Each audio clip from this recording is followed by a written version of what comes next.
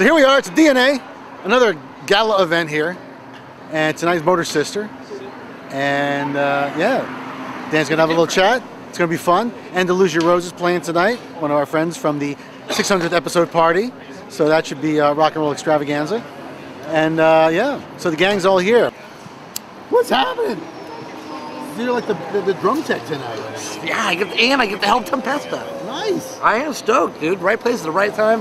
But I really, the whole thing really revol- revolves around getting uh, getting this guy in to autograph my book and autograph my picture with him, and get another picture with him. That's that. There it is, kids.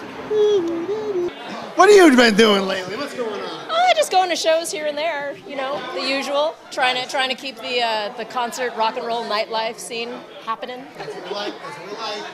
Ahoy, matey! We're at the Oakland Metro Opera House tonight for the Pirate Fest. It's a tour headlined by our friends at uh, Alestorm with a couple other pirate bands. So we're gonna get the latest from Christopher and the boys. So stay tuned. Thank you, Craigslist. Ah! Ah!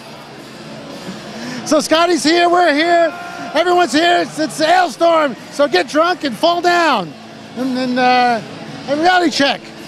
Literally saving rock and roll one night at a time, right? hey, smell it, motherfucker! It's all legal now. I don't know. What the hell do I know? The rest of the night is supposed to be fucking scurvy. Yarr. Smoke weed, fags. Oh, This is a lovely Bob Maiden. Are, are you Nancy the Tavern Wench? Uh, no, I'm a pirate. Yeah, but uh, yeah, uh, tell tell me the little mug you brought here. Yes. It's, it's fantastic. There's a, there's a scurvy gentleman right there, swinging his ale, ready for trouble. Oh my God. Ah! Arr!